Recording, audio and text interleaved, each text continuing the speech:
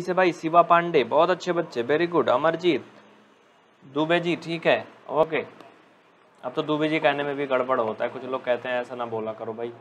दुबे जी को लोगों ने बदनाम कर दिया काफ़ी। एक्सरसाइज 9.2 होगा, सभी बुक लिए हो? किताब सभी लिए हो ना? रोज़ मैं पूछता हूँ इसलिए कि किताब लेके आना। कक्षा नौ में अगर पढ़ना है तो बिना किताब के काम नहीं बनेगा एन वाली किताब। रश्मु कुमार, ठीक है, रश्मि नाम है आपका। ठीक है, ओके है, ओके। चलिए तो क्वेश्चन नंबर जो सेकंड है साथियों, कल मैंने 9.1 पढ़ा दिया था। 9.1 में एक ही प्रश्न था। आज 9.2 पढ़ेंगे। ठीक है? विशाल सिंह जी, बिल्कुल ठीक है। आज 9.2 पढ़ेंगे। 9.2 में बच्चा छः सवाल हैं इसमें। कितने प्रश्न हैं? छः प्रश्न हैं इसमें। ठीक है। मृतंजय भरद्वाज जी, ठीक है, चलो फिर हम शुरू करते हैं। एक्सरसाइज कौन सा है? यहाँ पे नोट कर लो।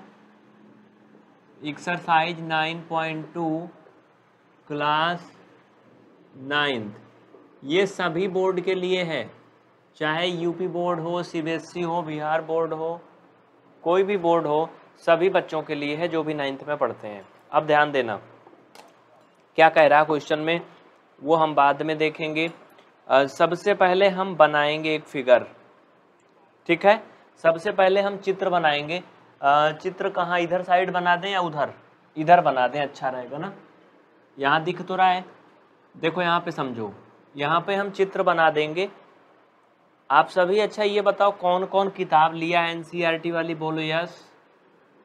एन e वाली किताब लिए हो तो बोलो यस। दिख रहा है यहाँ तक? ओके।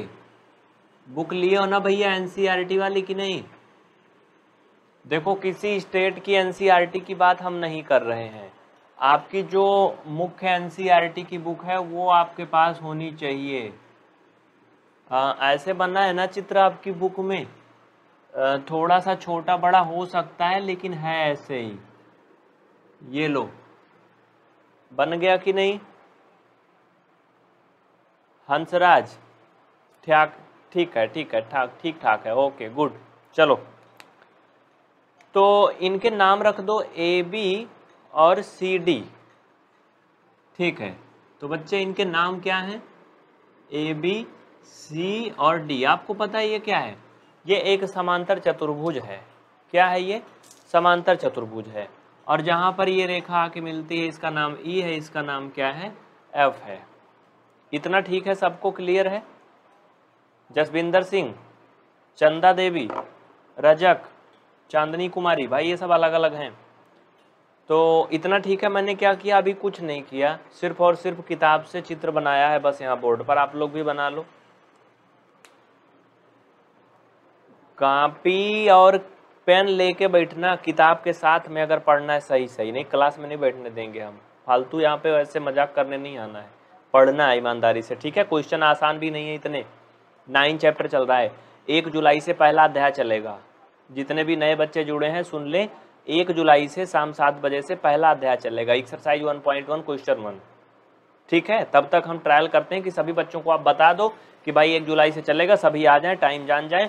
एक जुलाई को सौ, दो सौ बच्चे कम से कम होने चाहिए लाइव में, उससे कम नहीं। सबको शेयर कर दो जितने आपके साथी हैं, सबके साथ आना है आपको एक जुलाई को, ठीक है? हाँ चलें फिर। पूजा यादव, ठीक है? तो ये मैंने चित्र बना लिया। अब चलो क्वेश्चन पढ़ो, क्या कहता है? जो भी एनसीईआरटी की बुक लिए हैं, वो क्वेश्चन पढ़ें। कह रहा कि आकृति 9.15 में 9.15 में का मतलब ये है कि किताब में बहुत सारे चित्र बने होते हैं तो उनकी नंबरिंग की होती है, ठीक है? तो इसलिए इसको 9.15 चित्र नंबर कहा गया है। इसमें कह रहा है ए बी सी डी एक समांतर चतुर्भुज है। समांतर चतुर्भुज का मतलब होता है भैया पैरलोग्राम ठीक है? क्या होता है? पैरलोग्राम। यही होता है ना? पैरलोग्राम। ये क्या है? एक पैरलोग्राम है।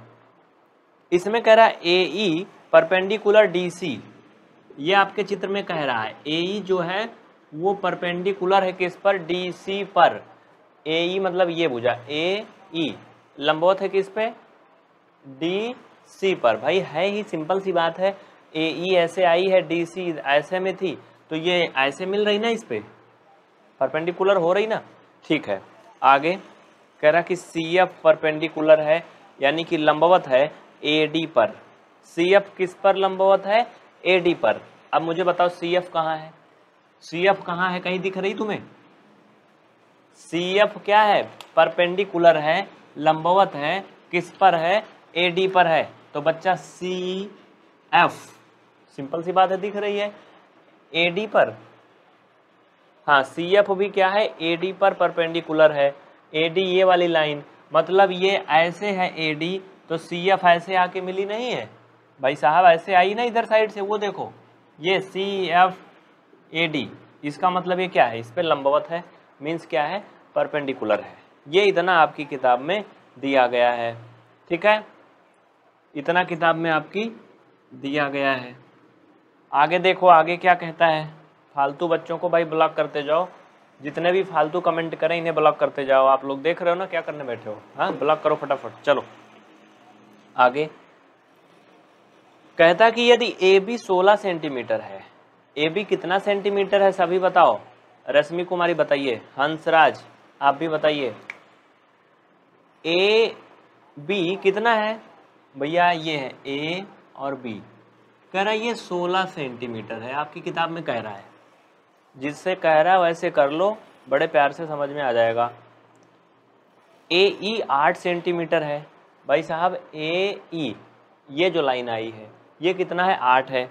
इसको लिख लो कितना? आठ लिख लो। ये कितना है? आठ सेंटीमीटर। ठीक है, मैंने लिख लिया रेड कलर से। कह रहा कि सी एफ़ दस सेंटीमीटर है। सी एफ़ सी एफ़ ये कितना है? दस सेंटीमीटर है। अभी देखते जाओ क्या क्या दिया है। तो कह रहा कि फिर ए डी बताइए। ए डी बताइए। ए और डी मतलब हमें इधर वाली लाइन निकालना है। भाई साहब, ये बहुत सिंपल सा है, इसमें देखो दो चीज़ है। दो क्या है? इसमें दो त्रिभुज बने हैं, आपको दिख रहे हैं ना? एक समांतर चतुर्भुज के अंदर दो त्रिभुज बने हैं। बने हैं ना? हाँ बने हैं ना? तो ध्यान से देखो, हमें इसमें दो तरह का क्षेत्रफल भी निकालना चाहिए। मतलब दो प्रकार से हम इस समांतर चतुर्भुज का त्रिभुज, वो क्षेत्रफल निकाल सकते हैं। आप लोगों को मैंने शायद, वो नहीं बताया था क्या इंट्रोडक्शन समांतर चतुर्भुज का क्षेत्रफल क्या होता है, जानते हो? फार्मूला चाहे तो लिख लो। फिर जब एक तरफ़ से पढ़ाएँगे एक जुलाई से तो उसमें सब डिटेल में करवा देंगे। अभी भी समझा रहा हूँ, केवल इंट्रोडक्शन नहीं करवाया हूँ बस। चलो लिखो, क्या बोलते हैं वो? फार्मूला लिख लो चाहे तो। देखो यहाँ पर, पहले समझो। अगर हम इसको इसके साथ में लेकर के चलें, जब ए डी ए डी नहीं मतलब सी डी इसको आधार माने। समझ रहे हो? जब हम सी और डी को आधार माने तो इस पे लंबवत कौन है? ए ही है ना? ए ही है ना? तो लिखो, समांतर चतुर्भुज ए बी सी डी का क्षेत्रफल। लिखो, समांतर चतुर्भुज ए बी सी डी का क्षेत्रफल। अब मैं पूरा लिखूँगा नहीं। समांतर चतुर्भुज ए बी सी डी का क्षेत्रफल बराबर क्या हो जाएगा, जानते हो? जब हम सी डी को आधार मानेंगे तो भैया हो समांतर चतुर्भुज का जो क्षेत्रफल का सूत्र होता है, आधार गुणे परपेंडिकुलर हाइट होता है। हाँ? मतलब लंबवत ऊंचाई होती है तो आधार सी डी है, और इस पर जो लंबवत ऊंचाई है ए ही तो लिखो सी डी इंटू ए बोलो, इतना ठीक है ना? इसमें किसी को कोई समस्या? मस्ती चैनल। आ रहा समझ में बच्चा? हाँ? सोनिया राय। सबको आ रहा है ना? इतना समझ में आया? सी डी इंटू ए क्योंकि समांतर चतुर्भुज का जो क्षेत्रफल होता है, यानी area of perpendicular oh sorry area of parallelogram जो होता है, वो बेस इंटू परपेंडिकुलर हाइट होता है, वो मैंने कर लिया। लेकिन इसमें एक चीज़ और है। वो क्या है? अगर हम ए डी को बेस माने ए डी को बेस माने, तब हमारी परपेंडिकुलर हाइट सी एफ़ है। बोलो है ना? तो हम दोनों कंडीशन यहाँ पर रखेंगे, तभी हमें ए डी का मान आएगा, क्योंकि ए डी तो इधर साइड दिया है। अगर हम सी डी को बेस मान के ऐसे रख दें, तब तो इसमें ए डी शामिल ही नहीं हो रहा है।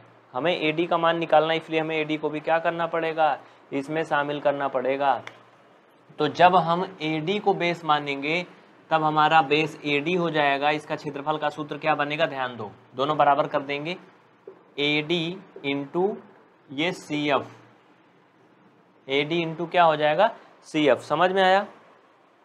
हाँ? देखो, समझ में तब आएगा बच्चा, जब बिल्कुल दिल लगा के, ईमानदारी से समझोगे, क्योंकि ये बहुत अच्छा समझने वाला चैप्टर नहीं है। बात समझ में आई ना? ये आसान नहीं है, बहुत ज़्यादा। एडवांस मैथ है ये बहुत दिमाग जो लगा के पढ़ेंगे बच्चे, उन्हीं को आएगा, बाकी पढ़ लेना पड़ेगा। एक जुलाई से शुरू से पढ़ना, चलो आगे देखो। ये हो गया अब हमें क्या क्या दिया है देखो सी डी भाई, कोई बताएगा सी डी कितना होगा?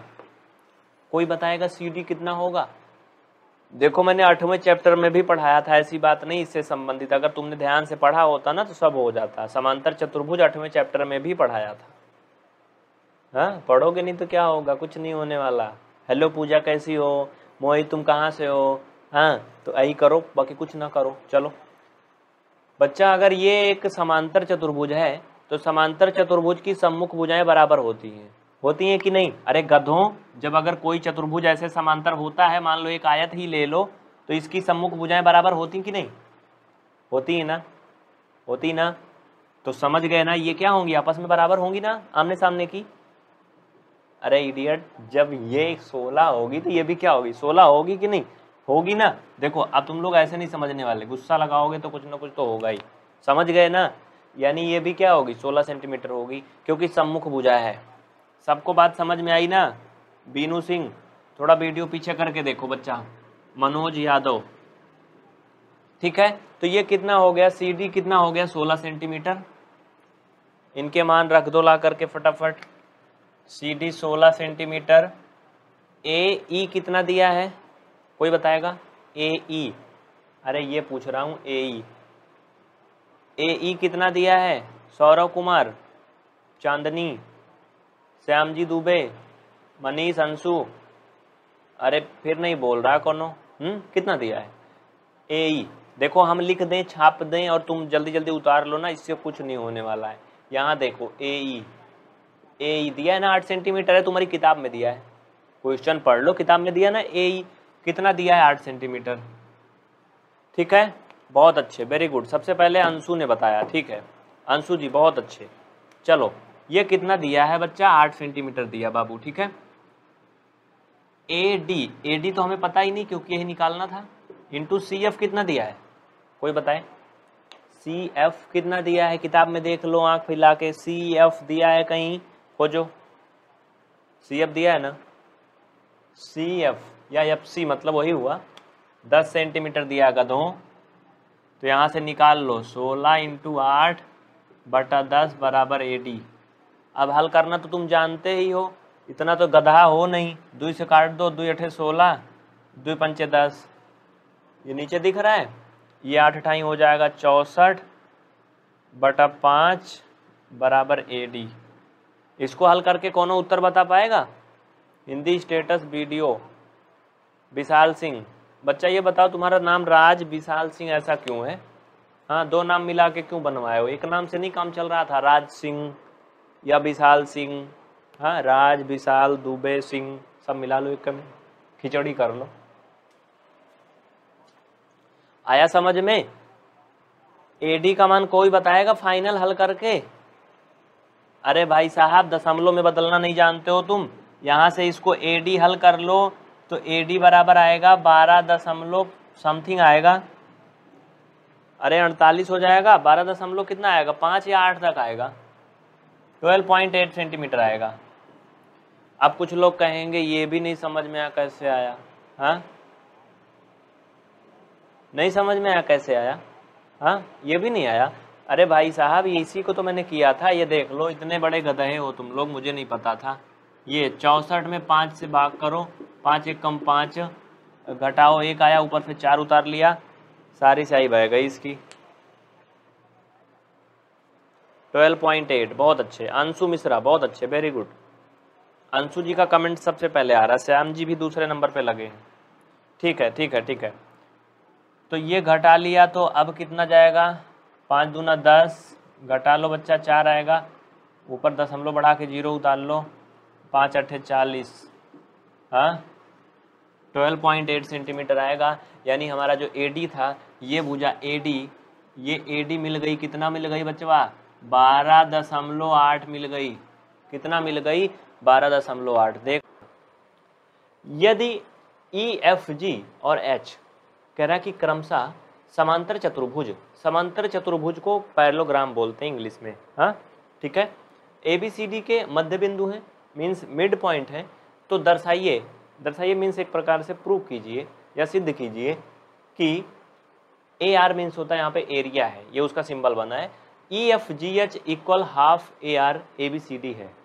जब आपने इसका इंट्रोडक्शन पार्ट देखा होगा नाइन चैप्टर का, उसमें स्टार्टिंग में आपको समझाया गया था। अगर नहीं देखे हो तो आप कमेंट करके बताना क्लास इंड हो जाएगी तब अभी नहीं। तो आपको दे दिया जाएगा। उसमें ये बताया गया था कि अगर कोई इस तरह से चतुर्भुज है यहाँ पे आप देख पा रहे हो, अगर कोई इस तरह से चतुर्भुज है मतलब पैलोग्राम है, और इसके अंदर में अगर कोई त्रिभुज बनता है, ट्राइंगल बनता है जो कि इसको ऐसे कनेक्ट करता है, आप इधर से समझो मतलब नीचे बेस दोनों का एक ही होगा। देखो, ये चतुर्भुज का भी बेस है, यानी पैलोग्राम का भी बेस है, जिसका नाम मान लो ए बी रख दिया, और जो ट्राइंगल आपका बना है, जिसे ए पी बी बोल सकते हो इसका भी बेस क्या है? ए बी ही है। अगर ऐसी स्थिति कहीं होती है प्यारे साथियों तो वहाँ पे क्या होता है? ये परमीय लागू होती या सूत्र लागू होता जो भी तुम समझ लो ये। इसका मतलब क्या होता जानते हो? यहाँ पे पूरी बात नहीं लिखी गई है। आ, इधर पहले समझ लो। आ, मैं बता देता हूँ यहाँ पे समझो पहले वो पूरा नहीं सिद्ध हो रहा है मतलब उसके अकॉर्डिंग नहीं यहाँ समझो।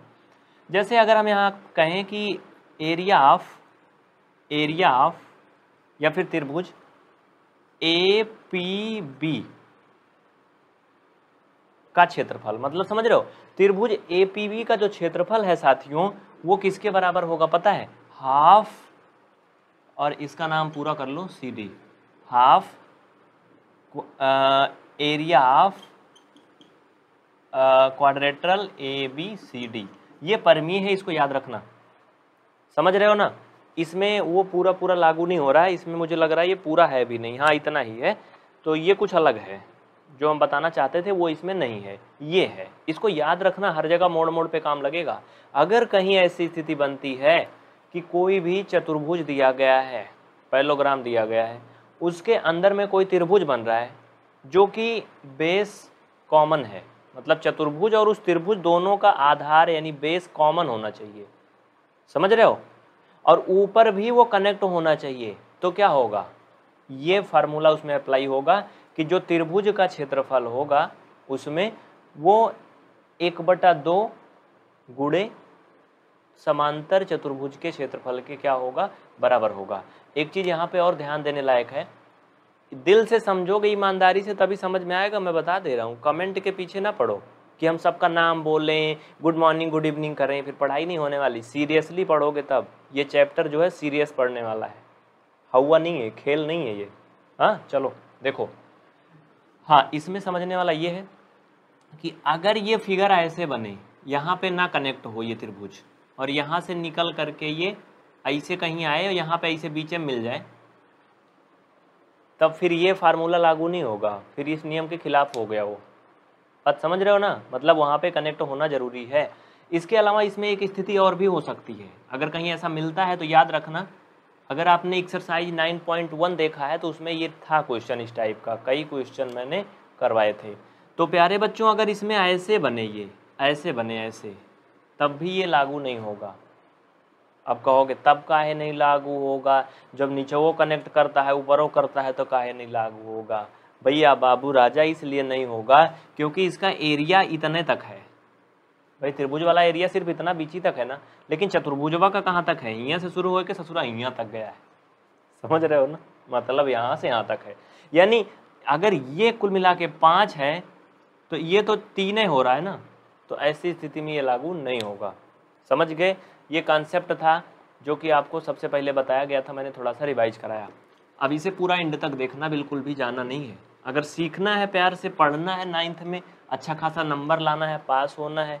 बाकी अगर सोचे हो कि चलो लाइव देख आते हैं यूट्यूब पे हाँ लाइव में मज़ा ले आते हैं तो फिर ये तुम्हारे काम का क्लास नहीं है। चलो, अब क्या करना है, जो करना है उस पर देखते हैं। क्वेश्चन तो मैंने पढ़ दिया था ना एक बार। हाँ ए बी सी डी एक समांतर चतुर्भुज था।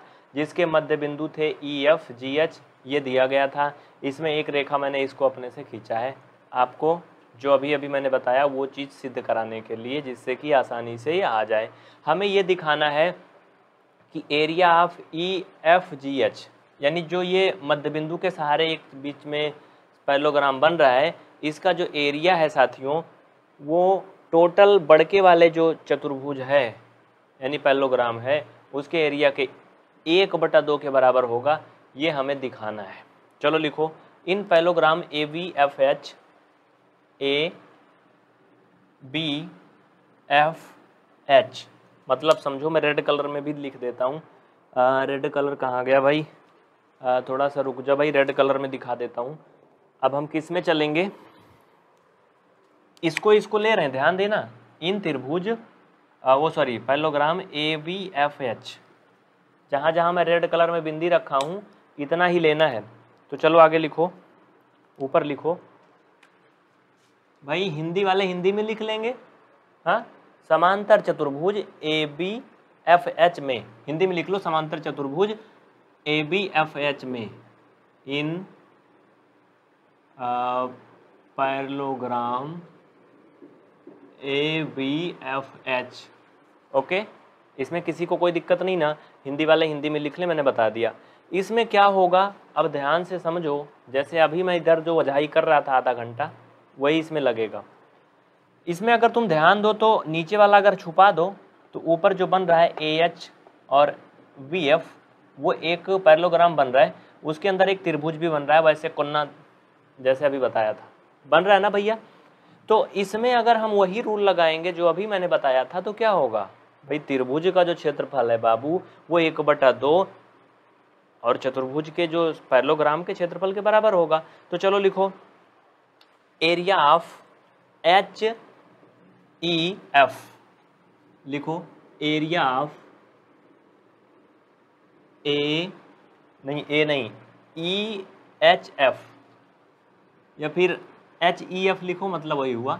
एच ई एफ़ इक्वल जो हिंदी वाले कंफ्यूज हो रहे हैं, उनको भी मैं बता रहा हूँ। टेंशन मत लो। तुम ऐसे लिखो ना, त्रिभुज एच ई एफ़ का क्षेत्रफल बराबर। त्रिभुज एच ई एफ़ का क्षेत्रफल बराबर। लिखो। एक बटा दो एरिया ऑफ़ हिंदी इंग्लिश दोनों में बोल रहा हूँ। एक बटा दो एरिया ऑफ़ क्या करोगे? भैया, पूरा वाला A B F H okay A B F H ये ठीक है ये फार्मूले के अकॉर्डिंग सेटलमेंट हो गया। ये एफ़ एच है ध्यान देना इधर कट नहीं रहा है। आ, ये लो ठीक है? आ, ओके भाई चुप हो जा भाई। चलो इतना हो गया लिखो इतना। साथ साथ में नोट डाउन करते रहो क्योंकि बोर्ड आठ ही फिट का है। मिटाना भी पड़ सकता है। चलो लिखो मैं हट जाता हूँ।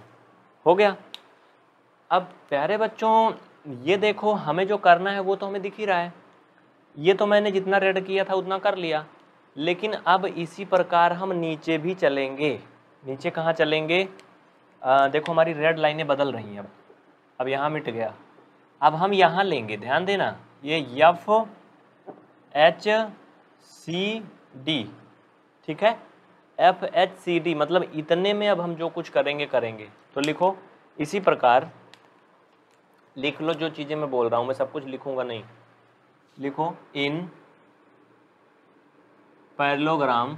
इसका एक चिन्ह भी होता है पैरलोग्राम का मैं अभी बनाऊँगा लेकिन आप लोग कंफ्यूज हो जाओगे। आ, लिखो क्या लिखूं? एच से शुरू करूँ?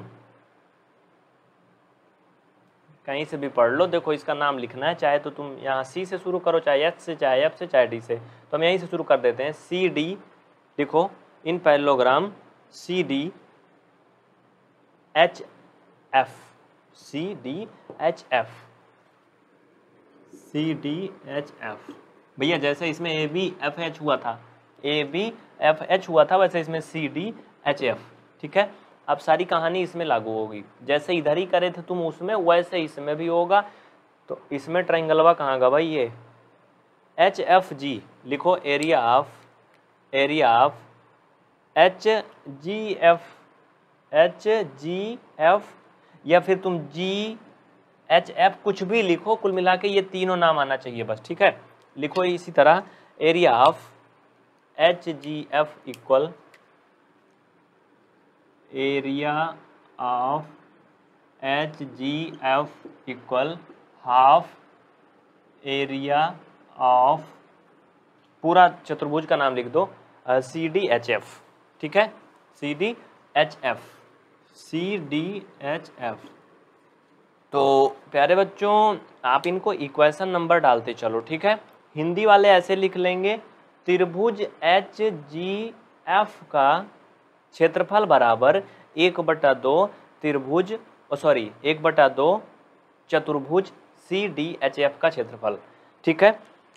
तो आपका ये इक्वेशन नंबर जो पूरा टोटल था, ये फ़र्स्ट हो गया था भाई। और बाबू, ये आपका इक्वेशन नंबर सेकेंड हो गया। बहुत प्यार से देखोगे, समझ में आएगा? देखोगे, लेकिन प्यार से तब। मैं सामने से डोलता रहता हूँ स्क्रीनशॉट निकाल लिया करो बीच बीच में। चलो। इतना हो गया। अब हम क्या करेंगे?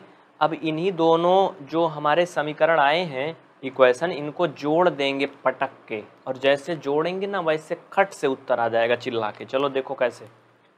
यहाँ लिखो on adding on adding equation first plus equation second Hindi medium वाले लिख लें, समीकरण एक और समीकरण दो को जोड़ने पर। समीकरण एक और समीकरण दो को जोड़ने पर, ठीक है? तो प्यारे बच्चों, एक चीज़ यहाँ पे देखो इसमें एच जी एफ़ है, इसमें एच ई एफ़ है। हमें लाना क्या है? ई एफ़ जी एच चलाना है। भैया हो बाबू हो, पहले यहाँ आओ सब लोग। आओ आओ, जल्दी आओ। क्या है? एच ई एफ़ ना देखो एच ई एफ़ और इनमें कहा है? H G F H G F यानी कि इधर थोड़ा देखो मैं इसका ऑपरेशन करने वाला हूँ तुम यहाँ समझो ध्यान से। आ, ये समझो ये ये कहानी समझो इसका नाम है एच ई एफ़ हाँ ठीक है? ओके और ये मैंने इसका नाम लिखा एच ई एफ़ और निचका वाले का है एच जी एफ़ चल भाई, आजा बेटा, तुम भी आजा। इसका नाम मैं इसमें लिखूँगा। लेकिन मैं अगर कुछ और कर दूँ तो गड़बड़ हो जाएगा ना। ये लो, ठीक है। नीचे दिख नहीं रहा है? थोड़ा सा छोटा कर देता हूँ। काहे इतना बड़ा टंगरी फैला है ये। भाई, थोड़ा कम पैर फैला। चल, इधर आ। सकेते में समझियान ना कर, चल। ठीक है? समझ में आया? अरे, थोड़ा सा पिचक गया, जगह कम थी, नहीं तो सीधा सीधा यही बन रहा है। पूरा पूरा ना? बन रहा है ना? क्या बन रहा है? एच एफ़ जी ई चाहे तो ये बड़ा उल्टा पुल्टा हो रहा है, यहाँ से शुरू करो। G F A G oh sorry E F G H अरे, जो ये है, वही मेरा मतलब मिलाने का था। हो रहा है कि नहीं? ई एफ़ जी एच हो रहा है ना? ये कुल मिलाकर के कहने का मतलब अगर हम इसको और इसको जोड़ेंगे आधा आधा तो इसके बराबर हो जाएगा। ठीक है? मतलब कि फाइनल में हमारा वही आ गया जो हमें लाना था। हम आपको यही समझाने की कोशिश कर रहे थे। जो समझने वाले बच्चे हैं, वो बड़े प्यार से समझ जाएँगे। देखो बच्चों, अगर आपको ये नहीं समझ में आ रहा बाबू ना, जो बहुत ज़्यादा कमेंट किए जा रहे हैं, मैं सबका कमेंट देख रहा हूँ, लेकिन मैं क्या करूँ? ना पढ़ाऊँ कमेंट ही पढ़ूँ। तुम ज़ीरो लेवल से पढ़ो बेसिक से अगर नहीं आता तो पहले कॉन्सेप्ट सीखो। P V R study application download कर लो, उसमें बेसिक से मिल जाएगा ज़ीरो लेवल से। चलो, ये हो जाएगा अब आपका एरिया ऑफ़ इनको दोनों को जोड़ दो सबको। तो ये आपका हो जाएगा E F G H equal half वही पूरा फाइनल में ए बी सी डी हमें लाना क्या था? एक बार क्वेश्चन में देखो। आ, ये यही तो लाना था ना? एरिया ऑफ़ ठीक है हो गया। यहाँ पे लिख लो। एरिया ऑफ़ या फिर ऐसे लिख लो चतुर्भुज ई एफ़ जी एच का क्षेत्रफल बराबर एक बटा दो चतुर्भुज ए बी सी डी ये भी एरिया आप मैं यहाँ लिख दे रहा हूँ। ये हो गया फाइनल नीचे लिख दोगे हैंस प्रूव्ड क्या लिखोगे? हैंस प्रूव्ड हैंस प्रूव्ड क्योंकि सिद्ध करना था और हिंदी में लिख देंगे, इति सिद्धम, अतः सिद्ध हुआ। कुछ भी लिख दो, ये हमें लाना था। चलो क्वेश्चन क्या कहता है आपके सामने है? आकृति 9.16 में, इसका मतलब ये है कि आकृति में, यानी चित्र में, और वो चित्र कहाँ है अभी आपको दिख नहीं रहा होगा तो मैं वो फिगर भी आपके सामने बना के दिखा देता हूँ। देखो, अब आपका फिगर भी आपके सामने स्क्रीन पे दिख रहा है। कह रहा कि इस चित्र में क्या क्या है? आगे सुनो। समांतर चतुर्भुज ए बी सी डी के अभ्यंतर में स्थित कोई बिंदु है। कोई बिंदु क्या है? कोई बिंदु है, कह रहा है ना? कोई बिंदु है, दर्शाइए कि क्या दर्शाना है? Area A P B plus area P C D equal half area A B C D ये आपको क्या करना है? दर्शाना है, दिखाना है, सिद्ध करना है। तो बच्चों अगर आपने पिछली क्लास देखा होगा जिसमें इंट्रोडक्शन वगैरह करवाया गया था तो उसमें आपको एक बहुत बड़ा टॉपिक समझ में आया था कि जब कोई भी दो समांतर रेखाएँ हों और उनसे कोई एक चतुर्भुज बन रहा हो साथ में बीच में उनसे कोई एक त्रिभुज भी बन रहा हो तो वहाँ पे क्या कंडीशन होती है आप पढ़े हो ना? तो चलो फिर इसके आगे चलते हैं। इसमें अभी ऐसी कंडीशन है नहीं। तो वो करने के लिए हम क्या करेंगे? इसमें एक लाइन खींच लेंगे, एक रचना कर लेंगे ये। सीधा सीधा, आप समझ रहे हो? ये क्या है आपका? ये एक प्रकार से रचना है। तो अब इसके जो सोल्यूशंस होंगे, यहाँ से स्टार्ट होंगे, आप लिखो। सोल्यूशन यहाँ से। हिंदी वाले लिख लें रचना और इंग्लिश मीडियम वाले लिख लें कंस्ट्रक्शन कंस्ट्रक्शन में लिखो। देखो, मैं सब लिखवाता हूँ हिंदी इंग्लिश ठीक है? आप हेडिंग डालो रचना। लिखो draw a line draw line इसका कुछ नाम भी दे दो, तभी तो लिखोगे कि कौन सा लाइन ड्रा की हो ना? Draw a line X Y through P and parallelogram through P and parallelogram oh sorry parallelogram नहीं यार. Through P and parallel A B and C D मतलब समझो हिंदी भाषा में इसको कैसे बोलेंगे? एक रेखा एक्स वाई एक रेखा एक्स वाई ए बी और सी डी के समांतर खींचा। एक रेखा एक्स वाई ए बी और सी डी के समांतर खींचा। इसको आप लोग लिख लेना आप मुझे लिखना ज़रूरी नहीं है, ठीक है? कंस्ट्रक्शन में लिख लो draw line X Y through P and parallel to A B and C D ये हो गया। अब अगर हमने इसको खींचा तो यहाँ पर नीचे लिखो आता है आप सबको पता है, अगर मैंने एक लाइन ऐसे खींच दिया तो भैया एक्स वाई ए बी के समांतर है। एक्स, वाई, सी, डी के भी समांतर है। तो बच्चा ए एक्स समांतर होगा बी वाई के? बोलो। ए एक्स, ये बी वाई के समांतर होगा कि नहीं? पैरेलल होगा कि नहीं? भैया हो जैसे तुम आयत बनाते हो बाबू, अगर एक रेक्टेंगल बनाते हो तो तुम्हारी ये दोनों लाइनें समांतर होती कि नहीं? ये दोनों समांतर होती ना? और ये भी तो समांतर होती इसके? होती है ना? तो वैसे कंडीशन तो बन रही है। तो इसको लिख लो। ये क्या है इसके? समांतर है तो आगे लिखो। आता है। A X parallel B Y and A X parallel का चिन्ह है ये। बी वाई एंड जैसे इधर ए एक्स बी वाई के समांतर है वैसे इधर सी वाई या फिर वाई सी ये एक्स डी के समांतर है। ठीक है? आगे लिखो। And A B parallel X Y पहले हम इसी में लेंगे इतने आ, मतलब चतुर्भुज में लेंगे ऊपर वाले में बस लिखो। ए बी समांतर समांतर एक्स वाई। इतना ठीक है, इसमें किसी को कोई डाउट नहीं ना। चलो फटाफट इसको लिखो, जल्दी से यार, सामने से मैं हटता हूँ तो स्क्रीन शॉट ले लिया करो। मैं सामने ऐसे रहूँगा तो तुम स्क्रीन शॉट नहीं कर पाओगे। इधर साइड हटूँगा तो उल्टा पड़ेगा। हाँ चलो लिखो। जल्दी करो। इतना हो गया एक एक पॉइंट नोट करते चलो, क्योंकि इसमें मिटाना भी पड़ेगा। अब आप ये कह रहे होंगे कि भैया ये जो लिखाए हो, कैसे लिखाए हो, ये कैसे आया? है? तो क्वेश्चन में लिख दो। By construction by construction Hindi वाले लिख दें रचना से। ठीक है? बाई कंस्ट्रक्शन या रचना से। चलो, हो गया। अब देखो आगे क्या होगा। हम सबको पता है कि ए बी एक्स वाई एक क्या है? समांतर चतुर्भुज बन रहा है, एक पैलोग्राम बन रहा है ना। तो लिखो। इसलिए, नीचे लिखो। इसलिए A B X Y is a parallelogram okay A B X Y is a parallelogram समझ में आया? चलो आगे समझो। अब आगे क्या करना है? अगर ये एक पैरलोग्राम है ए बी एक्स वाई तो क्या होगा बच्चा? त्रिभुज ए पी बी और त्रिभुज समझो, जैसे मैंने बताया था ना कि जब कोई, मैं हर बार बताता हूँ ये चीज़, फिर से एक बार समझ लो। अगर इस तरह कोई आपका एक समांतर चतुर्भुज बना है हाँ और बच्चा उसके बीच में ऐसे कोई त्रिभुज बनता है, जो कि इस आधार के इस कोने से लेके इस कोने से उठता है मतलब समझना।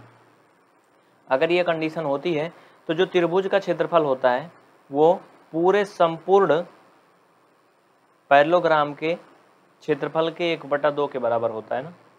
समझ गए ना? ये आप सीखे हो? तो भैया ये सीखे हो तो आगे बढ़ते हैं। मिटाने वाला कहाँ गया यार? ये भी एक लफड़ा है कहाँ कहाँ गया भाई? निकला निकला। निकला, तेरी ज़रूरत है। चलो देखो, समझो। आगे। अब समझो समझो समझो। अब अगर ये पैरलोग्राम है तो लिखो। आगे लिखो। क्या लिखोगे? इसलिए A P B and A B X Y are on the same base and between same parallel line A B and X Y लिखो। आ, लिखते टाइम इसको थोड़ा सा आपको गड़बड़ इतना ठीक है? ओके क्लियर देखो ये चीज़ अगर मैं आपको ऐसे लिखूं डायरेक्टली मैं थोड़ा सा आ, मतलब टाइम ना आपका बचाऊं तो बहुत टाइम लग जाएगा ठीक है? तो ये चीज़ आपको लिखना था आप इसे लिख सकते हो। हिंदी मीडियम वाले कैसे लिखेंगे, मैं उनको बता देता हूँ अलग से, जो हिंदी लैंग्वेज वाले हैं, वो समझ लें। देखो इसका मतलब क्या है। यहाँ पे लिखा है, इसलिए A P B and A B X Y are on same base and between same parallel line A B and X Y इसका ये मतलब है कि अगर ए बी एक्स वाई एक पैरलोग्राम है ए बी एक्स वाई को हम थोड़ा शॉर्टकट में आपको दिखाने के लिए इसका एक नमूना इधर साइड में बना के दिखा देता हूँ। तो देखो बच्चा, ये कुछ ऐसे बन रहा ना बाबू? इसका नाम है यक्स, इसका नाम है वाई, इसका नाम है ए बी। और इसके बीच में ये जो लाइन गई है, कुछ ऐसे गई है। हाँ? बोलो, है कि नहीं? मैं यही चीज़ इसमें से निकाल लिया काट के, यक्स, वाई के ऊपर का पूरा। समझ रहे हो ना? तो ऐसे दिखेगा ना? तो भैया हो, अगर ये इस तरह से बनता है तो इसका मतलब क्या है? इसका मतलब भैया सिंपल सा है कि ए पी, देखो यहाँ पे पी लिखा था ना, इसको लिख लो। इसका मतलब ये है कि ए पी बी एंड ये पूरा। A B X Y. Are on same base and between same parallel line. Same base पर हैं दोनों, कौन? ये त्रिभुज A, P, B. Same base पर कैसे है? दोनों का आधार ए, बी है, क्योंकि दोनों इसी पे बना है। आप समझ रहे हो कि नहीं? भाई, आधार तो इसका कोई भी मान सकते हो, ऊपर का नीचे का। या दीवार थोड़ी खड़ी करने को ऊपर से नीचे को नहीं आएगी हाँ? और ये जो ट्रायंगल है, इसका भी आधार कहाँ है? यही है, ए, बी है। तो अगर ये दोनों एक ही आधार पे बने हैं, और एक समान समांतर लाइन के बीच बने हैं। समांतर लाइन कौन सी है? ए बी और एक्स वाई इनके बीच में त्रिभुज भी बना है, इन्हीं के बीच में ये चतुर्भुज भी बना है। है ना? तो ये चीज़ तो इसमें लिखा गया है। हिंदी वाले लिखें, इसलिए पहले ऊपर से यहाँ समझो। अगर ए बी एक्स वाई एक पैलोग्राम है मतलब समांतर चतुर्भुज है तो ए पी बी और ए बी एक्स वाई दोनों समान आधार और समान समांतर लाइन के बीच बने हैं। तो भैया, अगर ये स्थिति होती है तो क्या बनता है? जो आपका परमीय मैंने आपको पढ़ाया था वो लागू हो जाएगा। तो चलो उसको लागू कर लो कि जो त्रिभुज का क्षेत्रफल होगा, वो बराबर होगा एक बटा दो चतुर्भुज के क्षेत्रफल के बराबर। तो आगे लिखो इसलिए एरिया ए आर लिखा जाता है एरिया को शॉर्टकट में, ठीक है? Area of A P V area of A P B क्यों भाई? ए पी बी की ही बात हो रही है अभी कि कुछ और बात हो रही? ठीक है? ये बराबर होगा किसके? यहाँ ट्रायंगल का भी चिन्ह बना लो, नहीं तो लोग कहेंगे कि क्या हो रहा है। लिखो। Area of A P B equal एक बटा दो। Area of area of A B X Y समझ में आ रहा ना बच्चे? देखो जो भी कमेंट कर रहे हैं कि नहीं आ रहा है। मैं देख पा रहा हूँ मिस्टर सुधांशु जी कमेंट आ रहा तुम्हारा बच्चा? प्रिया, प्रियंका राज। देखो जो कमेंट के पीछे पड़े हैं, परेशान मत हो, मैं नाम नहीं बोलने वाला हूँ, पढ़ाई कर लो, ध्यान दो, बहुत ध्यान से समझो। अगर आपने पहला चैप्टर से देखा होगा तो सब समझ में आएगा। नहीं देखे हो तो आने वाली एक तारीख से अभी नया चैप्टर शुरू होगा, नया बैच शुरू होगा। शाम सात बजे से जुड़ना ज़रूर, सब समझ में आएगा। लेकिन ये थोड़ा सा टॉप है चैप्टर एक प्रकार से मान लो, ये बहुत आसान नहीं है। जिन लोगों ने शुरू में मैथमेटिक्स को ध्यान नहीं दिया, सीरियसली नहीं लिया कक्षा छः में, सात में, आठ में, उनको ये समझ में बहुत कम आ रहा होगा। है ना? आप कमेंट करके बताओ कि आपको समझ में आ रहा है यस यस यस यस या नो बोलो। चलो तो ये आपका इक्वेशन नंबर फ़र्स्ट हो गया। तो भैया जैसे जैसे हमने ए एक्स और बी वाई इसके बीच ऊपर का किया था, उसी तरह नीचे भी सब कुछ होगा। ठीक है? अब हम लिखेंगे इसी प्रकार। ऊपर से हम इरेज करेंगे, आप लिख लो। लिख लिए? अब लिखो इसमें। ऊपर मैं इरेज कर रहा हूँ, लिखो इसलिए, या फिर सॉरी इसलिए नहीं, इसी प्रकार। इसी प्रकार मतलब कैसे? जैसे ये ऊपर आपका आधा पैरलोग्राम में किया गया था ए बी एक्स वाई में, वैसे नीचे भी आप करोगे एक्स डी और वाई सी में। चलो लिखो इसी प्रकार। लिखो लिखो, फटाफट लिखो। डी सी और एक्स वाई इसमें क्या रिलेशन है भाई? बताओ। भाई डी सी या सी डी एक्स वाई के क्या है? पैरेलल है, समांतर है ना? दोनों ऐसे ऐसे है ना? समांतर है ना? लिखो इसी प्रकार D C X Y is a parallel क्या? हाँ पैरलोग्राम लिखो, ठीक है? चलो। ऊपर लिखो इसी प्रकार इसी प्रकार। C D X Y is a parallelogram Hindi में लिख लो, इसी प्रकार सी डी एक्स वाई एक समांतर चतुर्भुज है, ठीक है? ओके? इसी प्रकार C D C D X Y एक क्या है? समांतर चतुर्भुज है। तो भैया, अगर इसमें तुम देख रहे हो तो इसमें भी जहाँ पे पी है, ये देखो आके बिंदु मिल रहा है, यहाँ नीचे से उठ रहा बराबर ना? तो इसमें भी वही चीज़ लागू होगा। लिखो area of triangle D P C area of triangle D P C या फिर आप ऐसे कह सकते हो पी सी डी मतलब एक ही हुआ चाहे तो पी सी डी बोलो चाहे डी पी सी बोलो मतलब यहाँ पर एक ही हुआ क्योंकि यहाँ पे कोई कोण निश्चित नहीं है कि हमें क्या दिखाना है ठीक है? लिखो इस प्रकार। आ, लेकिन उसके पहले ये कहानियाँ तो लिखना पड़ेगा जो इसमें लिखा था। इसको लिखो लिखो लिखो। त्रिभुज पी सी डी चलो इसको फटाफट नोट करो। इसी प्रकार P C D and D C X Y are on same base D C and between same parallel line X Y and C D Hindi में लिख लो, इसी प्रकार त्रिभुज पी सी डी और चतुर्भुज डी सी एक्स वाई दोनों एक समान बेस और, एक समान बेस डी सी और दो पैरेलल या फिर हिंदी में लिखोगे, भाई हाँ दो समांतर रेखाओं एक्स वाई और सी डी के बीच में स्थित है। ठीक है? समझ गए ना? लिखो इसलिए त्रिभुज पी सी डी और चतुर्भुज डी सी एक्स वाई ये दोनों एक समान बेस डी सी है ना? ये समान बेस डी सी और between same parallel line X Y and C D मतलब इसका यह हुआ और एक समान समांतर रेखाओं के बीच में स्थित है। जितनी बार बोलेंगे, उतनी तरह की परिभाषा आपको सुनाई देगी, क्योंकि ये परिभाषा आपको बना के लिखना है। इसमें कोई ज़रूरी नहीं कि आप सेम टू सेम जो हमारे मुँह से निकले वही लिखोगे। आप अपनी भाषा में इसको लिख सकते हो। मतलब आपको समझना है यहाँ पर बस। मतलब ये समझना है कि जो रेखा सी डी है, ये बेस है किसका? ये एक्स वाई सी डी इस चतुर्भुज का भी बेस है और पी डी सी या फिर सी पी डी या फिर पी सी डी इस त्रिभुज का भी बेस है। तो वही चीज़ वहाँ पे लिखा गया है। ठीक है? इतना समझ गए ना बच्चा? तो अगर इतना आप समझ गए, ऐसी कंडीशन बन रही है तो आपका जो त्रिभुज का क्षेत्रफल है वो क्या होगा? लिखो यहाँ पे। इसलिए इसलिए area of area of P C D equal area of P C D equal half area of C D X Y लिखो area of C D X Y या फिर D C X Y area of D C X Y okay, कोई दिक्कत नहीं है किसी को ना। लिख लो फटाफट नोट करते चलो बच्चा, ये हो गया आपका क्वेश्चन नंबर सेकेंड देखो मिस्टर मुन्ना चौधरी, क्या चाहते हो तुम्हें ब्लॉक कर दें? हाँ हमारे कमेंट पे कमेंट डंडा करे। हो मैं सबका कमेंट देख पा रहा हूँ, लेकिन पढ़ाई कर लो। पढ़ाई कर लो, बेहतर होगा, ये बहुत आसान नहीं है। जिनको नहीं समझ में आ रहा टेंशन नहीं लेना है। चैनल सब्सक्राइब करके रखना है। आप स्टेप बाय स्टेप देखोगे, सब समझ में आएगा। जो पिछले चैप्टर नहीं देखे हैं, उनको समझ में कम आ रहा होगा, क्योंकि जो छोटे छोटे कॉन्सेप्ट होते हैं बहुत सारी चीज़ें, वो उन्हें समझ में यहाँ पे नहीं आएँगी, क्योंकि वहाँ पे पढ़े ही नहीं वो। अगर आपका मैथ बहुत वीक है, आपको बिल्कुल नहीं समझ में आता है आपका अच्छा छः सात, आठ का मैथ पढ़ लो, आपका नौ वाला आराम से आ जाएगा। अभी नया सत्र आपका शुरू हो रहा है बहुत टाइम है आपके पास, जून, जुलाई में तो आप एक दो महीना, डेढ़ महीना में उसको कंप्लीट कर लो, इसको आराम से पढ़ोगे, बड़े प्यार से आएगा, एकदम पानी हो जाएगा। उसके लिए आप पी स्टडी एप्लीकेशन डाउनलोड करिए, और वन से टेन तक का पूरा कोर्स उसमें है एप्लीकेशन में। ठीक है? एप्लीकेशन का नाम भी वही है जो चैनल का नाम है।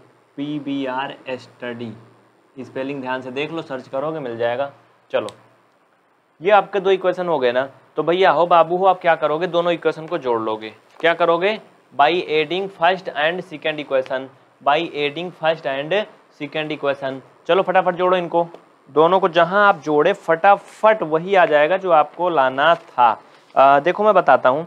वो कैसे आ जाएगा पता है आपको? देखो, वो इसलिए आ जाएगा क्योंकि इसमें है कुछ खास। वो क्या? देखो, भाई कहाँ गए? पी सी डी ना? इधर देखो पी सी डी और इधर अभी बना था A P B A P B बना था ना? ऐसे कुछ बना था? रुको, मैं देखता हूँ। हाँ ए पी बी बना था। तो भैया, अगर तुम इसको जोड़ दे रहे हो, इसको जोड़ दे रहे हो, तब तो पूरा पूरा ये सीधा सीधा जुड़ी जा रहा है। बाकी आपका इस साइड का थोड़ा थोड़ा बच रहा है है ना? और वो तो उधर साइड बराबर है ही डी सी एक्स वाई के और मुझे लग रहा दोनों उसी के बराबर था का? डी सी एक्स वाई अरे डी सी एक्स वाई तो छोड़ दो तुम। डी सी एक्स वाई का मतलब ये आधा चतुर्भुज और इधर वाला जो था ए बी एक्स वाई ये दोनों मिला के सब पूरा कंप्लीट नहीं हो जा रहा है। हो जा रहा ना? तो लिखो समीकरण एक और दो को जोड़ने पर। By adding equation first plus equation second okay तो भैया दोनों इक्वेशन ऐड कर दो बाबू। हम्म, चलो चलो क्या था पहला? मुझे देखने दो। A P B then P C D लिखो A P B A P B ये पहले था, अभी कुछ देर पहले आपने देखा था plus triangle P C D equal कितना आया था, एक बटा दो ए बी एक्स वाई ठीक है? और इसमें क्या जोड़ना है? एक बटा दो डी सी वाई एक्स एक बटा दो डी सी वाई एक्स इतना सब कुछ क्लियर है? उधर मुझे लग रहा है डी सी के बाद बाहर थोड़ा चला गया। आ, तो कोई दिक्कत नहीं मैं थोड़ा इसको इधर घुमा देता हूँ। चलो आप देख लो फटाफट बस बिल्कुल टेंशन मत लो एक भी पैसे का। चलो। पहले इनका सोल्यूशन देख लो बाकी उधर देखना जो छूट रहा है। क्वेश्चन क्वेश्चन बाद में दिखा दूँगा। चलो। तो भैया हो बाबू हो अगर आप इसको जोड़ोगे A P B A P B और ये C P B D sorry C P D तो ये कुल मिला के जोड़ के एक हो जाएँगे। और बराबर एक बटा दो ए बी एक्स वाई है जो, ए बी एक्स वाई और ये सी डी एक्स वाई दोनों जुड़ेगा तो एक चतुर्भुज बन जाएगा। तो इस तरह से फाइनल में आपका वही आ जाएगा जो आप निकालना चाहते थे। हाँ क्या निकालना चाहते हो? बताओ। कुछ निकालना चाहते हो? अरे यही तो लाना था गधो, इधर वाला। इधर वाला केवल अलग हो रहा है जुड़ गया, बस हो गया फाइनल चलो लिख लो एक बार और। ए, पी, बी, धान, ये, P, C, D. Equal marker चल रहा है ना, कोई दिक्कत नहीं ना?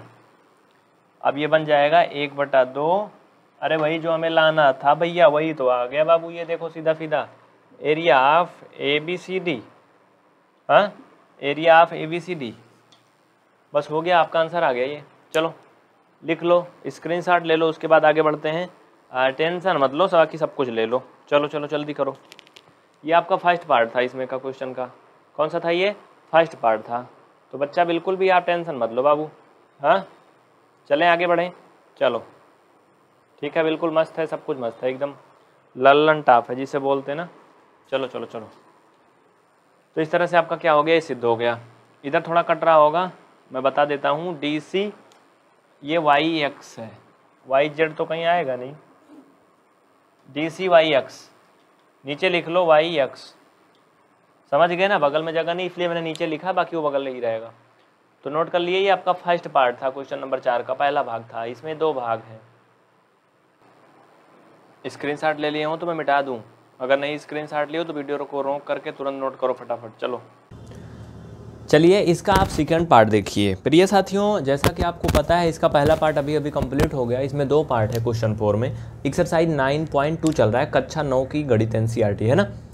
तो देखिए, इसमें क्या कह रहा था? एक बार फिर से हम क्वेश्चन पढ़ लेते हैं। कह रहा है आकृति 9.16 में। इस, इसका मतलब ये है, ये चित्र का नंबर है, ठीक है 9.16 इसी चित्र में पी समांतर चतुर्भुज ए बी सी डी के अभ्यंतर में स्थित कोई बिंदु है। अभ्यंतर का मतलब होता है बीच में या मध्य में, ठीक है? जो चतुर्भुज ए बी सी डी बना था, उसके बीच में, मध्य में कहीं स्थित है ये, एक बिंदु है, जिसका नाम क्या है? पी है, ठीक है? तो कह रहा दर्शाइए दर्शाइए मतलब प्रूव कीजिए, सिद्ध कीजिए। ये पहला, ये तो हो ही गया, आपको दिख ही रहा है। दूसरा अब इसे हमें करना है। तो साथियों, जो पहला का आंसर आया था, जितना हमें प्रूव करना था, उसकी सहायता से हम दूसरा वाला प्रूव करेंगे, ठीक है? उसको हम लिख के रखेंगे। तो ये हमारा इक्वेशन नंबर तीन बना था। अभी आपने देखा होगा इक्वेशन नंबर तीन बना था ना ये? नहीं बनाया था अगर आपने तो इसको इक्वेशन नंबर तीन बना लीजिए, ठीक है? अब क्या करेंगे? जैसे उसमें किया था, वैसे इसमें भी करेंगे, ठीक है? रचना करेंगे, इसमें कंस्ट्रक्शन करेंगे। उसमें हमने ऐसे ऐसे लाइन खींचा था इसमें ऐसी लाइन खींचेंगे, ऐसी, ठीक है? ये क्या करेंगे? एक रचना करेंगे, जिसका नाम आप लिख लीजिए पी, क्यू, ठीक है? ओके? अब ध्यान देना, इस पी का यूज़ अब वैसे बहुत कम जगह होगा, जहाँ होगा, आप देखिएगा, मैं बताऊँगा। आप कंफ्यूज मत होना इस पी और पी में, ठीक है? मैं बताऊँगा, चलिए। अब क्या करेंगे? अभी अभी आपने देखा होगा एक चीज़। क्या देखा था? कि जब कोई दो समान समांतर लाइन हो दो समान समांतर लाइन हो और उनके बीच में, दो समान समांतर जो लाइनें हैं, उनके बीच में, यानी कहने का मतलब जैसे ये पी क्यू और ए डी क्या है, आपस में समांतर हैं। ये थोड़ा ज़्यादा टेढ़ी दिख रही होगी आपको, इसलिए आपको लग रहा है कि ये ऐसा सही नहीं पैरल नहीं है, बट ये पैरल है। देखिए, थोड़ा ऐसा खींचना आप। ये चित्र मैंने थोड़ा ज़्यादा ऐसे कर दिया, इसलिए आपको ऐसा लग रहा होगा। तो ये भैया लाइन ऐसे खींचेंगे यहाँ ठीक है, उसी फ्लो में ये। ठीक है? अब आपको पैरेलल लग रहा होगा ना, ये पैरेलल है। ए डी और ये क्या है? दोनों पैरेलल है। ठीक है? क्लियर? अब ये मतलब समझना, ये दोनों पैरेलल है। तो ए डी और पी क्यू दोनों क्या है? समांतर हैं। जब कोई दो ऐसी समांतर लाइनें हो, जिनके बीच में कोई त्रिभुज बन रहा हो। देखो, त्रिभुज बन रहा है ना भैया? ए पी डी बन रहा है ना? या फिर ऐसे लिख लें पी डी ए या फिर कैसे भी पढ़ लो पी ए डी एक त्रिभुज बन रहा है, ये त्रिभुज है। और एक चतुर्भुज भी है। भाई सब ले लो ए पी क्यू डी क्या है? एक चतुर्भुज है। तो ऐसी स्थिति में एक फार्मूला एक फैक्ट होता है, वो क्या होता है? कि जो त्रिभुज का क्षेत्रफल होता है, वो चतुर्भुज के क्षेत्रफल के आधे के बराबर होता है। तो आप लिखेंगे त्रिभुज ए पी डी ठीक है? त्रिभुज ए पी डी यानी ये त्रिभुज ए पी डी इस पी से नहीं मतलब अभी। अभी इस पी से नहीं मतलब। ए पी डी मैं इसकी बात कर रहा हूँ। ध्यान देना। तो यहाँ आप क्या लिखेंगे? त्रिभुज ए पी डी का क्षेत्रफल, ठीक है? ओके, लिखो। त्रिभुज ए पी डी इसके ऊपर थोड़ा सा एक चीज़ लिख लेना, रचना या कंस्ट्रक्शन ठीक है, रचना या कंस्ट्रक्शन लिख लेना आप लोग। लिखना रेखा ए डी के समांतर पी क्यू खींचा, ठीक है? रेखा ए डी के समांतर पी क्यू खींचा? इसे लिख लेना बाबू, ठीक है, ऊपर। रेखा A D D for dog के समांतर पी क्यू खींचा? क्यू फॉर क्वीन ओके ठीक है, अब त्रिभुज ए पी क्यू का जो क्षेत्रफल है, वो किसके बराबर होगा बाबू? बराबर एक बटा दो चतुर्भुज पूरा पूरा ए पी क्यू डी ठीक है? ए पी क्यू डी लिख लीजिए ए पी क्यू डी ये आपका इक्वेशन नंबर हो जाएगा फोर भाई, तीन तक हुआ था तो ये चौथा हो गया। इसमें किसी को कोई डाउट है तो बताओ। नहीं ना? कोई डाउट नहीं ना? अब इसी प्रकार, समझना? अभी हमने सारी कहानी सिर्फ़ यहीं तक किया है। एक बार फिर से समझिए। ए, पी, क्यू, डी यहीं तक किया है। अभी हम इधर साइड में कोई बात नहीं कर रहे हैं। लेकिन अब इसको भी लेंगे। ये थोड़ा ज़्यादा बड़ा दिख रहा होगा आपको ना?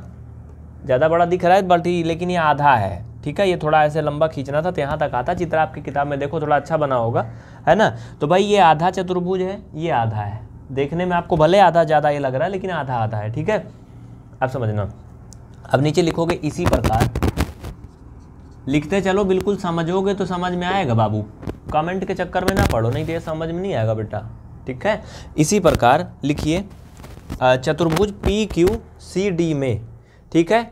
या फिर ऐसे भी कर सकते हो, पी बी सी क्यू में, ठीक है? इसी प्रकार पी बी सी क्यू में।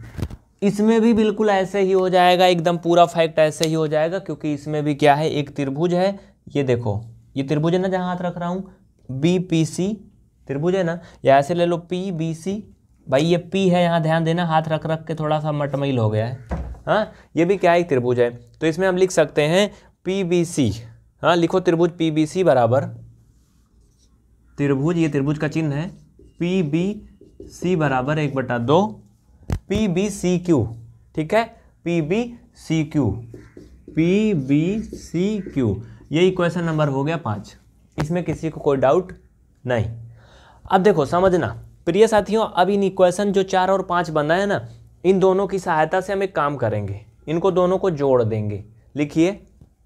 आप लिखिए, हिंदी में लिखिए, समीकरण। ये लाइन ऐसे मैं खींच दे रहा हूँ, आपको अंतर जनाई पड़े कि अलग अलग है। देख रहे हो ना भैया? ये लाइन देख लो। अब इसमें कंफ्यूज नहीं होना। उधर का अलग है, इधर का अलग है। समीकरण चार, धन, ये पाँच। इन दोनों इक्वेशन को हम जोड़ देंगे। अब यहाँ पे समझना, चार नंबर में है ए पी डी इसमें है पी बी सी तो ये दोनों जुड़ जाएँगे। लिखो, त्रिभुज ए पी डी धन, त्रिभुज पी बी सी बराबर। इधर वाला भी जुड़ जाएगा half A P Q D और इधर half P B C Q okay? लिखो। एक बटा दो। ए पी क्यू डी इधर दिख रहा है कि नहीं? नहीं दिख रहा होगा तो मैं दिखा दूँगा। बिल्कुल टेंशन मत लेना। दिख तो रहा है ना भैया? पूरा दिख रहा है ना बाबू? हाँ हाँ दिख रहा है। अब मैं इसको थोड़ा इधर सोल्यूशन पे मूव करूँगा बाद में मैं आपको पूरा दिखा दूँगा। आप कहीं जाना नहीं टेंशन मत लेना बिल्कुल। बाद में एक नज़र में दिखा दूँगा चलो। इन दोनों को जोड़ना है। चलो। भाई देखो समझना मैंने आगे वाला बराबर का एक हिस्सा इधर का है एक बराबर के उधर का है। तो बराबर के इधर का जो चौथा समीकरण का था ए पी डी मैंने लिख लिया। पाँचवें समीकरण का भी बराबर के इधर वाला लिख लिया और बराबर के उधर जाते हैं। इस समीकरण का मैंने ये लिख लिया अब इसका भी यहाँ लिखेंगे। एक बटा दो पी बी सी क्यू। अब एक चीज़ यहाँ देखना, ये दोनों त्रिभुज जुड़ गए। भैया, ये चतुर्भुज जुड़ रहा है ए पी क्यू डी और ये पी बी सी क्यू। तो जब ये दोनों चतुर्भुज जुड़ेंगे तो बड़का वाला बन नहीं जाएगा। जरा सोच के बताओ, बड़का वाला बन जाएगा ना बाबू? बन जाएगा ना? इसे इक्वेशन नंबर छः नाम दे दीजिए। क्या नाम देंगे? इक्वेशन नंबर छः ठीक है? तो इन दोनों को जब जोड़ोगे तो क्या बनेगा? भाई सीधी सी बात है, इसको तो जैसे है, ऐसे ही रहने दो। ऐसे ही रहने दो, इसमें तो जुड़ के कुछ नया बनेगा नहीं। लेकिन उधर वाला, ये दोनों चतुर्भुज जुड़ जुड़ के A B C Q C D बन जाएगा। ए बी सी डी बन जाएगा, ठीक है? तो हम इसे लिखेंगे त्रिभुज ए पी डी धन, त्रिभुज पी बी सी इक्वल ये हो जाएगा आपका क्या? पूरा पूरा ए बी सी डी जो हमें सिद्ध करना था, ऐसा कर सकते हैं कि नहीं? या फिर इसे ये भी एक काम कर सकते हो? क्या? जरा थोड़ा समझना ए पी डी और पी बी सी है ना? भाई, ये चीज़ तो अभी कहीं और भी आया था। एक नज़र देखो पीछे। कहीं आया था ना? यानी इसको हम जो सिद्ध करना था, वही लिख सकते हैं। पी बी सी और ए पी बी ये जितना प्रूव करना था, ये, इधर वाला। अभी रुको, मैं बताता हूँ कैसे। एक मिनट रुको, मैं बता रहा हूँ। समझना थोड़ा सा थोड़ा सा समझना। इसे देखो, लिखो। ए पी बी धन, ये आपका पी सी डी कैसे इसको लिख रहे हैं? अभी थोड़ा समझना, मैं बता रहा हूँ। इसको थोड़ा मैं छोटा सा लिख देता हूँ। हाँ ठीक है, थोड़ा छोटा लिख लो। ये त्रिभुज ए पी बी जैसे यहाँ पर लिख रहा था एरिया बराबर, वैसे भी लिख सकते हो। थोड़ा सा गंदा लग रहा है ऐसा, मैं इसको क्लियर कर देता हूँ इधर से घुमा के। एक मिनट रुकना। बाकी हो गया, हल हो गया। थोड़ा सा क्लियर कर देता हूँ, जाना नहीं, रुक जाओ। देखिए, इसको मैंने एकदम क्लियर कर दिया। अब यहाँ से आपको समझ में आ गया होगा बेटा। देखो, ये दोनों जब जुड़ेंगे तो पूरे पूरे कंप्लीट बड़े वाले चतुर्भुज के बराबर हो जाएँगे। भाई, सीधी सी बात है, ये चतुर्भुज इतना और ये इतना दोनों जुड़ेगा तो ए बी सी डी के बराबर हो जाएगा। और जो ए बी सी डी का मान था half A B C D का, समीकरण तीन में देखो। कितना है? ये जितना है ना, इसको पूरा पूरा यहाँ ला लिख देंगे। ठीक है? नीचे आप लिखोगे, समीकरण क्या लिखोगे? समीकरण तीन और छः से। ठीक है? ये छः है और ये समीकरण तीन है। आप नीचे लिख लीजिए, फटाफट लिखिए, समीकरण तीन और छः से। फटाफट लिखिए। लिखिए लिखिए। ये समीकरण वैसे छः फाइनल ये बना है। ठीक है? वो भी था, लेकिन इसका मैंने मान रखा तो इसे आप फाइनल मान सकते हो। ठीक है? ओके डन तो अब लिखो समीकरण तीन व छः से, ठीक है? तीन और छः से जो आंसर लाना था वही लिख दीजिए। लिखिए area of A P D भाई छः में क्या है? यही तो है। ए पी डी धन एरिया ऑफ़ ये पी बी सी और बराबर half A B C D half A B C D के बराबर ये है। इसको लिख लो। Area of A P B और धन area of P C D ठीक है? और हमें लगता है यही तो सिद्ध भी करना था ना? नीचे लिख दीजिए हैंस प्रूव्ड आता है, सिद्ध हुआ। क्या हुआ? सिद्ध हुआ। हैंस प्रूव्ड ठीक है, डन। लिख लीजिए, मैं सामने से हट जाता हूँ, वीडियो को रोक करके स्क्रीनशॉट लीजिए, कोई डाउट है तो बताइए। देखिए क्वेश्चन थोड़ा सा दिमाग वाला है माइंडेड है, ठीक है? मैं एक नज़र में पूरा दिखा देता हूँ, आप देखिए। एक नज़र में पूरा क्वेश्चन और आंसर दोनों देखिए। जल्दी करिए, फटाफट, बहुत देर नहीं। बहुत जल्दी करिए, हो गया? पूरा दिख रहा है एक बार में? चलिए, अगला क्वेश्चन की तरफ़ आगे बढ़ते हैं। आज की इस वीडियो में हम लोग बात करने वाले हैं कक्षा नौ के एनसीईआरटी गणित। और बेटा आपका एक्सरसाइज 9.2 चल रहा है। 9.2 का ये लास्ट क्वेश्चन है। तो याद रखना एक्सरसाइज 9.2 और लास्ट क्वेश्चन है आज क्वेश्चन नंबर छठवा। ठीक है? उसके बाद आपका 9.2 खत्म 9.3 शुरू होगा। क्वेश्चन देखिए, बहुत आसान है, बिल्कुल कहानी जैसा है। कह रहा है कि एक किसान के पास पी क्यू आर एस के रूप का एक खेत था। उसने आर्यस पर स्थित कोई बिंदु ए लिया। पहले प्रश्न को पढ़ लीजिए, उसके बाद फिर हम आपको इसके बारे में बहुत अच्छे से समझाएँगे, ठीक है? उसके बाद आगे कहता है, खेत कितने भागों में विभाजित हो गया? जब उसने ऐसा किया तो खेत कितने भागों में बट गया? और इन भागों के आकार क्या हैं वो भी बताना है कि त्रिभुजा आकार भाग बने हैं या फिर चतुर्भुज के आकार के बने हैं, किस आकार के बने हैं बाबू, इनको भी आपको बताना है। उसके आगे भी इसमें पूछ रहा है, कह रहा है कि वो किसान खेत में गेहूँ और दालें बराबर बराबर भागों में बोना चाहती है। भाई, वो किसान नहीं है, लेडीज़ है, बोना चाहती है ना? तो बराबर बराबर भागों में बोना अगर चाहती है तो वो ऐसा कैसे करे? इसका समाधान भी करना है। तो पहले हम इसका फिगर बनाएँगे। फिगर के आधार पर ही कुछ होगा। इसमें कुछ ज़्यादा लिखना है नहीं, सिर्फ़ और सिर्फ़ समझना है। ठीक है? देखिए, खेत है तो खेत आप लोग सभी देखे हैं। ऐसा तो है नहीं कि कोई खेत ना देखा हो। खेत का मतलब मैदान फ़ील्ड जैसे होता है ना। कह रहा कि पी क्यू आर एस के आकार का है। पी क्यू आर एस के आकार का मतलब ये है, ये कोई भैंस बैल के आकार का नहीं। भाई पी क्यू आर एस चार क्यों दिया है? क्योंकि चतुर्भुज के आकार का है। हाँ? तो हम मान लेते हैं कि किसान का खेत कुछ ऐसा है। हाँ ये क्या है इसका? फिगर है। इसका नाम हो गया पी क्यू आर एस। इतना ठीक है? या फिर इसका नाम आप कुछ और तरीके से भी लिख सकते हो। आर को इधर लिख दो या इसको उधर लिख दो। हाँ कैसे भी कर लो आप। ये, ऐसे कर लो। ठीक है? पी क्यू आर और एस। हाँ डन? ऐसे लिखा था मैंने? ठीक है। मैंने खेत बना लिया।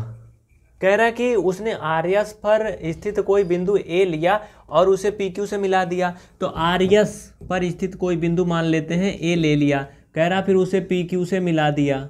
लो, हमने वो भी कर दिया। जैसे कह रहा, वैसे करना बहुत आसान है बेटा, ठीक है? कह रहा, खेत कितने भागों में विभाजित हो गया? तो इसमें जितने प्रश्न पूछ रहा है, यहाँ पर आप लिखोगे हल। और इसका हम पहला आंसर डाल दे रहे हैं। वैसे इसमें कई प्रश्न हैं, जितना भी पूछा है, पहला दूसरा डाल के लिख दे रहे हैं, ठीक है? तो आप लिखोगे बाबू कि खेत तीन भागों में विभाजित हो गया, ठीक है? नहीं समझ में आ रहा, अभी बता रहा हूँ कैसे। एक, दो, तीन। भाई, सिंपल सी बात है, नाम लिख दो इनके। A, B, C. तीन भाग बन गया ना? खेत तीन भागों में विभाजित हो गया। अगर कोई डाउट है तो मुझे बता दो, ठीक है? आगे बढ़े। खेत तीन भागों में विभाजित हो गया। अगला अगला प्रश्न क्या कह रहा है? इन भागों के आकार क्या हैं? तो भाई इसको भी लिख दो। हाँ? All parts are like a triangle तीन भागों में विभाजित हो गया, उसके नाम भी लिख दो। विभाजित हो गया। लिख दो ऐसे ऐसे, त्रिभुज। कौन कौन तीन भाग भाई? लिखो लिखो लिखो। P A Q P A Q और एक लिख लो, त्रिभुज, पी ए एस और त्रिभुज, Q A R, Q A R. ये क्या है? उस खेत के तीन भाग हैं जिनमें ये विभाजित हुआ है। ठीक है? आप इनका नाम अलग तरीके से भी लिख सकते हो। मैंने ऐसे लिखा, पी ए एफ़ लिखा, सॉरी, पी ए एफ़ लिखा। आप पी एस ए भी लिख सकते हो। वो अपना अपना तरीका है या फिर ए एस पी भी लिख सकते हो। ठीक है?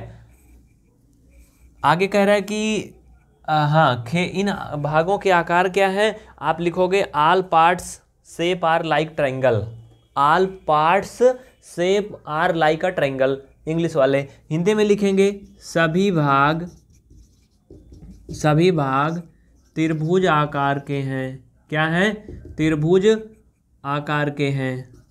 हिंदी इंग्लिश दोनों बता दे रहा हूँ ठीक है? समझ गए ना बाबू? अगला कह रहा है कि वो किसान बराबर बराबर भागों में गेहूँ और दालें बोना चाहती है तो ऐसा कैसे करे? भाई बराबर बराबर भागों में वो बोना चाहती सिर्फ़ दो फ़सल।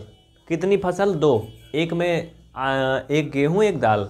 लेकिन यहाँ पर तीन भाग हो गए हैं। तो भैया, डेढ़ डेढ़ कैसे करेंगे? यानी कैसे वो बोए, किस भाग में गेहूँ बोए, किसमें दाल बोए, जिससे कि बराबर बराबर गेहूँ और बराबर बराबर दाल पैदा हो? मतलब उसका क्षेत्रफल बराबर होना चाहिए। तो देखो बाबू, आपको ये चीज़ मालूम है। क्या मालूम है? अगर कोई दो रेखाएँ आपस में पैरेलल हैं, समांतर हैं, उनके बीच में कोई त्रिभुज बनता है। कोई दो रेखाएँ आपस में समांतर हैं, उनके बीच में कोई त्रिभुज बन रहा है। यानी समान आधार पर कोई त्रिभुज और चतुर्भुज दोनों बन रहा है तो जो त्रिभुज का क्षेत्रफल होता है, वो चतुर्भुज के क्षेत्रफल के आधे के बराबर होता है। तो यहाँ पर यही हो रहा है। पी क्यू दोनों क्या हैं? पी क्यू और आर एस समांतर रेखाएँ हैं। पी क्यू और आर एस क्या है? पैरल लाइन है और इनके बीच ये त्रिभुज बन रहा है। पी ए क्यू बन रहा है ना? नहीं समझ में आ रहा? मैं दिखा दूँ अलग से? यहाँ देख लो छोटा सा, फिर मिटा दूँगा, ठीक है? देखो भाई, ऐसे समझो, मैं ये कहना चाहता हूँ। मैं ये कहना चाहता हूँ। हाँ मैं ये कहना चाहता हूँ। बोलो, ऐसा हो रहा है कि नहीं? हो रहा है ना? यहाँ पे क्या है? यहाँ पे क्या है? यहाँ पे ये अच्छा लास्ट छोर है। ठीक है ठीक है। डोंट वरी ओके डन ठीक है। ओके ये क्या है? पी है। ये क्या है? क्यू है। ये तुम्हारा ए है। और बेटा, ये क्या है? ये आर है।